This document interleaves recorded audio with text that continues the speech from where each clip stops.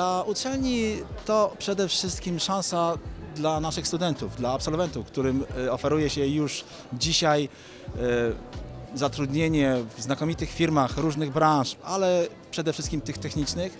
Jak się okazuje, nie tylko w naszym województwie, ale także spośród e, województw i regionów ościennych. Jak powiedziałem, e, jeżeli pracodawca przychodzi z wyciągniętą ręką, to jest to duża szansa e, dla młodzieży i przede wszystkim docenienie e, wartości ich przygotowania do pracy.